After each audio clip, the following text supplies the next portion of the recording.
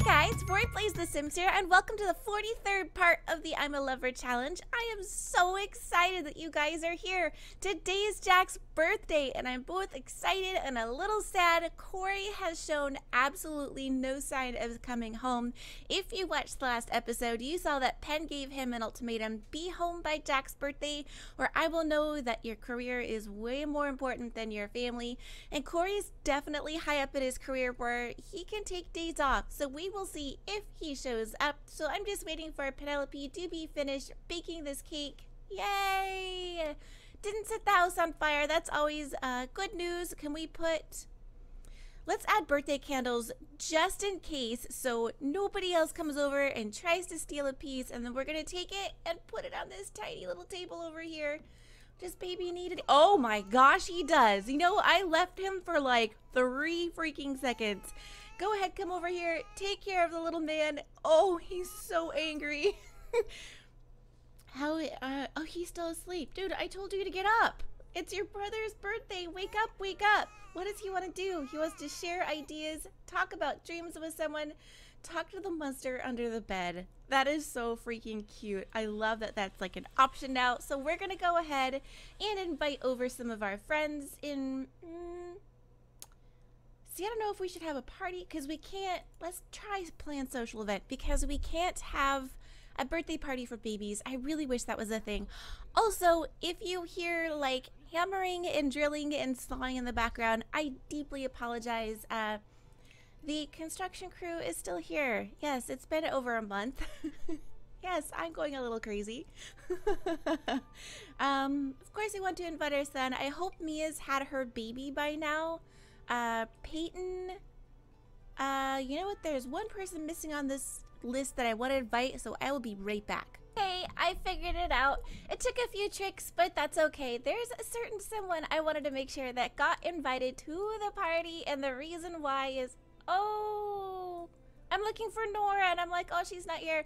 So I hope Mia's had her baby, so it's not kind of like, oh my gosh, now she's gone into labor type of thing. Um, uh, we don't need any of the other stuff. It's just family coming here. We want to have it at the house. So the reason why I was like, oh, we're missing someone on this list is because where did he go? He better not be on my freaking computer. I, you know what? We're going to go ahead and we're going to lock this door. Lock this door for everybody because I hate it when guests come over and they go straight to the computer. I'm like, you're here for something else. You see this strange man in our house? This guy right here? I had to uh, kind of finagle to get him here first, but he is Peyton's boyfriend. Check this out. Uh, I had to go over to their house to make sure that we knew him. So that's why it's like, uh, oh, Corey aged up. He is now an adult. He aged up out of town at work. But look at this. Ronan just became the boyfriend of Peyton. I think Peyton may have found like true love with this guy. He's super sweet. Whenever they're near each other, they always like flirt and hold hands. They're really, ooh, Mia's, well, she's always angry, but she's not pregnant anymore. So that means she had her baby. Yay, congratulations, Mia. So let's go ahead and hi, Ronan. He's like, hello. We're going to go ahead and place everyone in a group because it's just easier to control everyone that way. I love uh, form a group. Let's just do that. Form a group with everybody here. And then have everybody, can we go here? Why isn't it doing it? Sorry, little boy, we don't want to talk to you just for like a second so I can make everybody go here together. I love his little handsome outfit that he wears for parties. That is so cute. It is so cute. Okay, this is Mia's daughter. Obviously not the one that she just had, the child that she just had. Yay, Peyton's here. That's the one I wanted to see. Oh, Peyton, you are so... Look! She's like, hi, you got here before I did. I love how she absolutely adores this guy. He's telling, is that a, does that mean he's telling a dirty joke? Let's go ahead and thank everyone for coming. Mia, are you feeling a little bit better? I know you tend to be angry whenever she comes over. Whenever she has to leave the house, she just gets so freaking angry. So let's go ahead and say hi to Ronan. No! There's nothing you can do upstairs. You can go to the bathroom. Everybody is taking the French toast out of the fridge that I made a few days ago. Oh man, there's stuff on the ground. Okay, that's not going to go in there, is it? Nope. Um, well, everybody seems to be having a nice time. So let's go ahead and call everyone. Look at. She's like, this guy seems really sweet for you, and I really like. Look at him; he's in the background. They can't stand being too far apart. It's really cute. So let's go ahead and no blow out the candles. No. Oh, the candles are gone. Can we Egypt sim? Oh, we can't Egypt the baby. That would have been too perfect. How about we remove the candles? Let's do that. Call everyone to the cake. How's the baby doing? Looks like he's doing okay in there. Uh, before the episode started, I had her change his diaper and attempt to breastfeed him, but he was a little angry. He's like, leave me alone. So that's why their relationship bar has gone down a little bit. Pen, come over here, remove the candles because we can't have a birthday party for the baby, which is really a bummer. I wish we could do that. Let's go ahead and boop, boop, boop, call to meal. Everybody come to the cake. So my birthday was uh, a few days ago in real life, and I got a strawberry cake and it looks just like the cake in the real game. So that was really cool. It was really good too. Um, let's go ahead and age him up. I mean, why not? I want to see what he looks like. More choices. More choices. More choices. age up. Yay. If you can stop eating the cake, you're really not that hungry. And if you could, yay, yay, come over here. This is it. He's a yay! Jack Wells is becoming a child today. He's blonde. Oh, I freaking love it. So this little guy is going to be a rambunctious scamp. I wish there was like a gamer option because this one's really gonna like video games.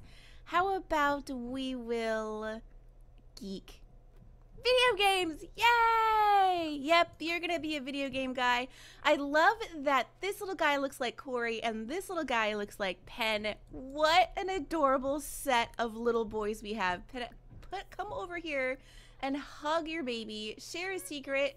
They seem to be getting along okay right now. He's like, hey, you wanna take a picture?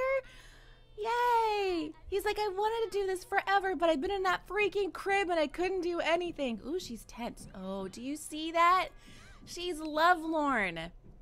It's like Pen is realizing that Corey is absolutely not here, not gonna show up.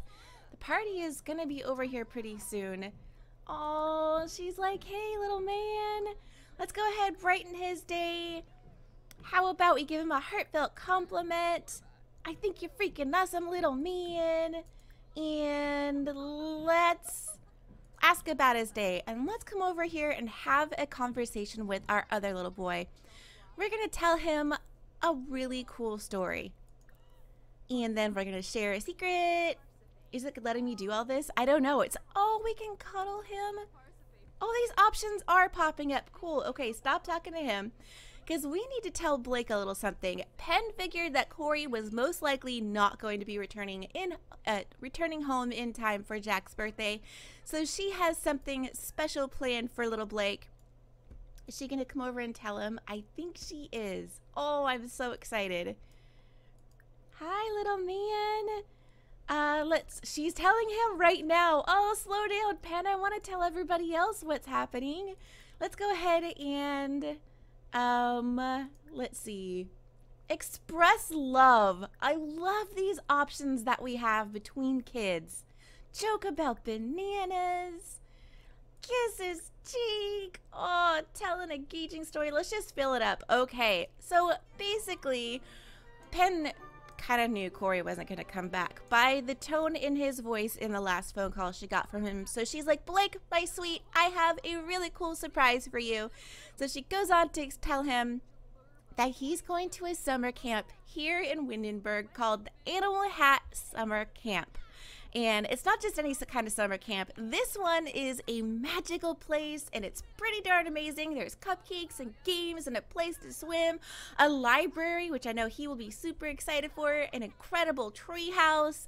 And he's like the one like the one you and Abby or Aunt Abby played in when you guys were kids and she's like, "Yep, it's kind of similar to that." So Blake is really excited. He can hardly wait. He's never been to camp before, but he's been swimming before and he freaking loved it. He's like, This is gonna be so awesome. When do I leave? She's like, You leave tomorrow morning. He's like, Really? Oh my gosh. so I'm so excited for him. Hey, I heard you became friends friends with Corey. Oh, well, look at this awkward text message. Eva is sitting right here and she says, I heard you became friends with your husband. He's pretty cool. Well, yeah, we kind of do know him. Help Blake with homework. Okay, cool. So I am really excited that little Blake is going to be going to summer camp. So in the next episode or the next few episodes, you guys won't see him here, but don't worry, he's going to be having the best time. So she really wanted to make sure she spoiled little Blake, and this will give her time to know Jack a little bit more. Where are you going?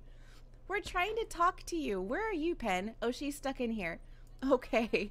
She's talking to an angry Mia. so, um, I am really excited about Animal Hat Summer Camp. It has already started, so I will put a link in the description bar down below so you can go see what this camp is all about. Look at this good little boy. Jack, you're absolutely amazing. He hops out of the crib and immediately he starts doing chores. I think he wants to be the favorite child. Oh no, uh, replace. I think he wants to be the favored child. I don't know. And Blake is over here. He's like, Tell me more about this camp. I'm so freaking excited. Uh, let's brighten his day. Tell him a funny story. She's like, I am really happy that you learned how to swim in Mia's pool because you're going to have the best time. You're going to be meeting all sorts of other kids and you get to write letters home. I am so excited that he's going to camp. Can you tell? Can you tell? and this will give us more time with little Jack and kind of, uh, uh, just kind of. Are you guys gonna kiss? Oh, I thought they were. I should really get going now. Thanks for coming. Thanks for coming, everyone. I appreciate that everyone is was here for uh, little Jack's birthday. Oh, he's so cute. He's so he looks so much like his dad. It's incredible. But we really, I don't know why, but for some reason, whenever I hop back into the game, these go unframed. Do you guys have that in your game where your pictures that you have in your game go unframed all of a sudden? So if I'm reframing these, that means these are, yep. Oh, that is so frustrating. I wish there was a way we could take a family photo. I'll have to look into that. But I'm going to go ahead and end this episode here. If you like this Let's Play, please give it a huge thumbs up and subscribe. It would really mean a lot to me. Don't forget to leave your comments and suggestions and any questions you guys have down below. And like I said earlier, don't worry in the next episode that you don't see little Blake here. He is going to go to summer camp. But this does mean really bad news for Penelope and Corey. Corey didn't come home he kind of showed it to Penelope and his family that work is more important. So this means that Penelope and Corey will be getting a divorce. So before Blake heads off to camp, she is going to have a little sit down family meeting slash talk with the boys to let them know what's going on. Blake is really furious with his dad that he wouldn't even bother to have a phone call or, you know, even show up. So Blake is a little mad, but he's holding it together for his brother. So I'm going to go ahead and end it, end it here. Thank you guys so much for watching, and I'll see you next time. Bye!